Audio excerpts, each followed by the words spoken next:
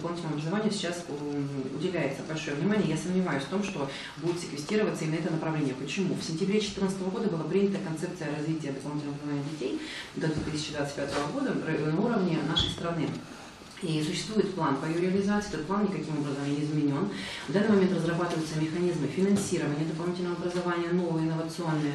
Но основной, конечно, упор здесь делается на переход на нормативно-подушевое финансирование, чтобы каждое учение дополнительного образования имело возможность получить средства по нормативу на каждого ребенка обучающегося. Будет разработан механизм в отдельных пилотных регионах, а потом, конечно, реализован и у нас, э, персонифицированного сертификата, то есть э, каждый ребенок будет иметь определенную возможность на определенную сумму, выделенную регионом или муниципалитетом, получить образование в определенном учреждении, в том, которое он изберет.